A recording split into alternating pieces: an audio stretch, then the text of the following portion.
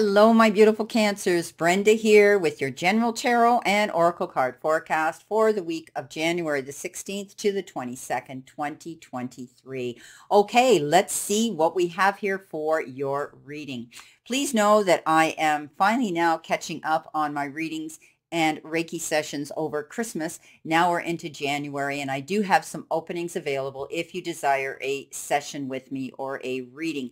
All the information is posted below each and every single one of my videos. And when you get into my website, you now can pull up the calendar and actually schedule the time and the day that you want. So let's see what we have for your reading, Cancer. Starting off, your first energy card is Infinite Blessings. You've got magic works through you and you have the birds. And I do believe that you're going to find that something's going to be coming in here that's going to make your head turn. There's beautiful, beautiful uh, blessings and they show up in the most unexpected ways, but always on time. You know, your life may not be exactly as you anticipated, but be sure to look for your miracles and count your blessings. Okay, this is this is something that could be coming in all of a sudden or something unexpected shows up when you least thought you would hear about it or, or receive it. So something's coming in and you're going to be really happy about it because you also have the Wheel of Fortune in your reading. So you've got the Scarab Beetle and it spirit and it is magic works through you.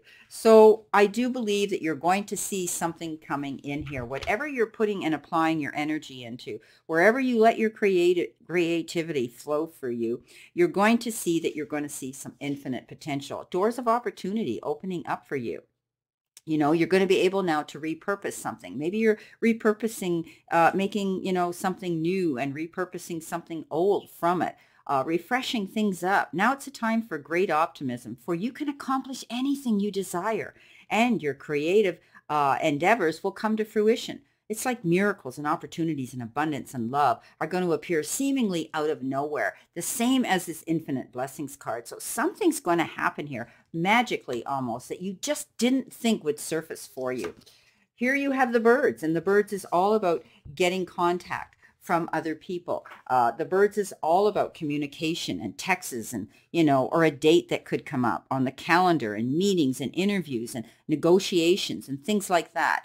Uh, you could be hearing about this type of communication. Maybe you're going to hear about a new job or an interview or a contact's going to come ahead and say, you need to hear this. Uh, you need to know what's going on. It's beautiful. Just don't get caught up in any gossip in the office. This card can refer to gossip as well for some of you.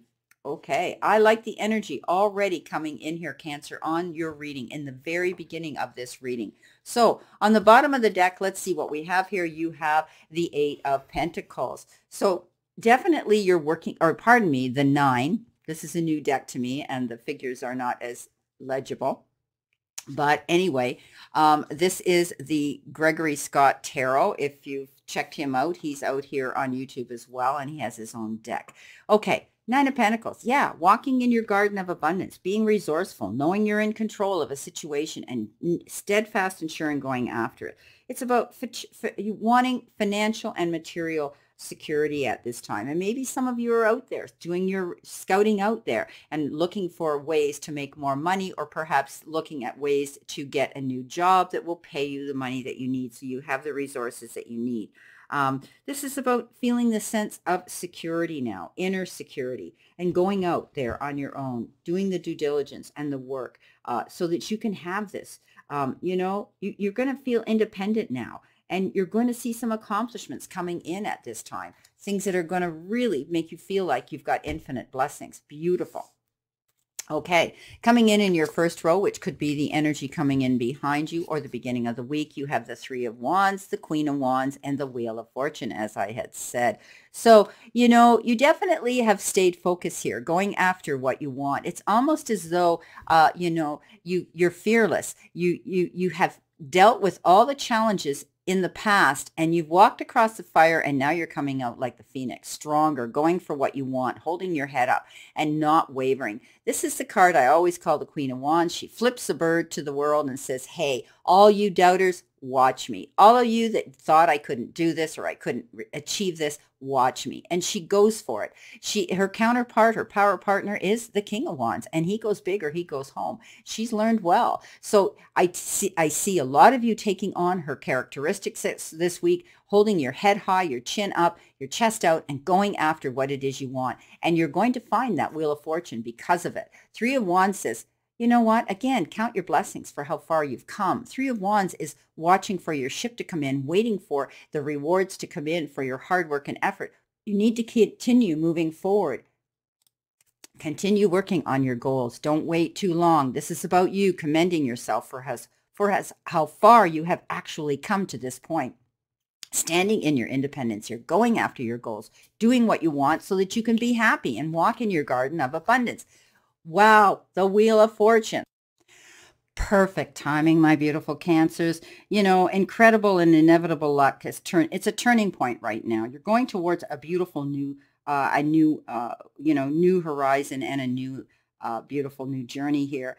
Um, this is a new beginning for some of you and opportunities knocking and opening doors for you to go ahead you know, because this is about luck and chance and we can all have good fortune or we can have bad fortune. It's up to you to make those choices that are going to lead you to the improving uh, sense of well-being in your lifestyle, going after what you want. Remember I said doing the due diligence and the work, but I do believe that you're going to see something coming in here. Some of you may have to travel for your, your work. You may have to uh, go the distance. You may be planning a trip, whether it's for business or for vacation, or you just have to go the distance and work hard to get these goals coming in. You're determined, and I believe you're going to go after that, and you're going to be able to pat yourself on the back for what you're achieving to this point. So don't look back. You've got blessings coming in here in this reading. It's beautiful.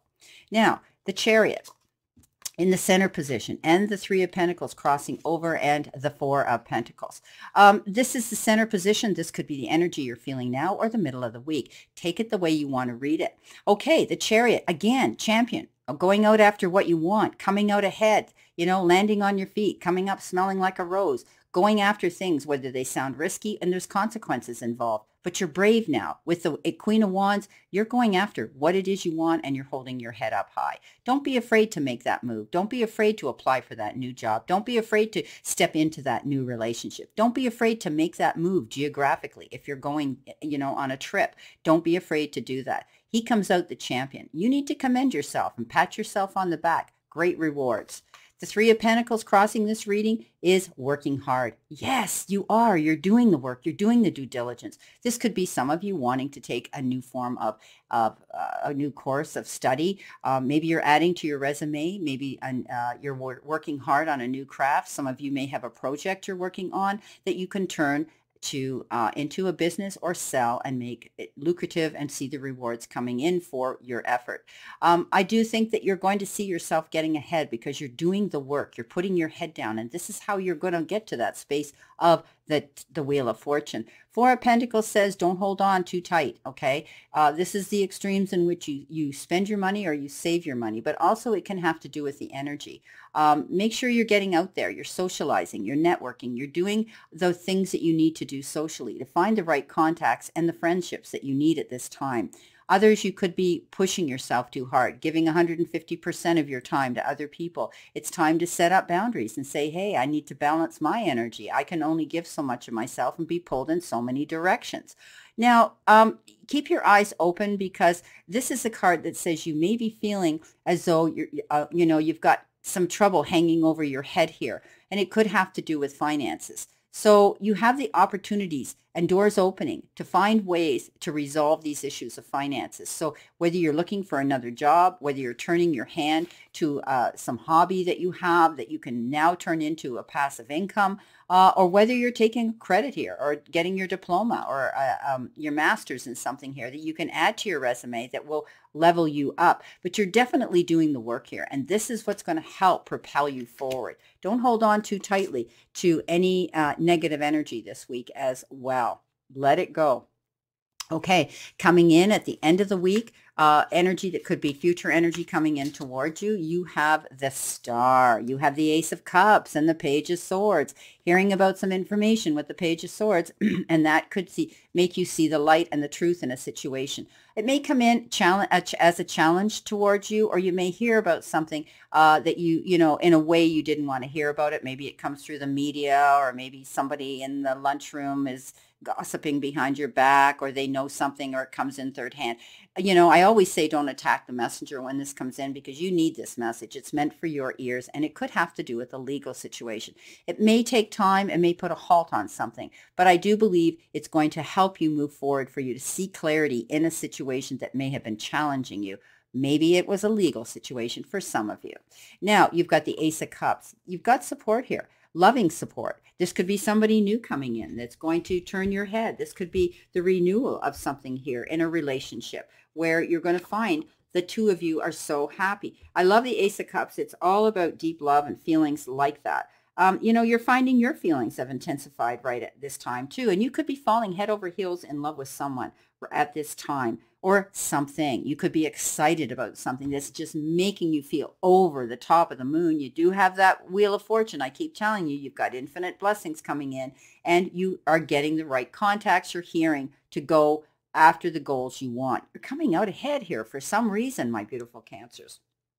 Okay, so um, I, but this can also be the beginning of a new love, and it can be, uh, you know, a desire for deeper connections with somebody right here. There could be somebody coming in that you're going to be spending a lot of your time emotionally with. The star comes in. This is all about wishing on a star, not giving up, knowing that the sky's the limit.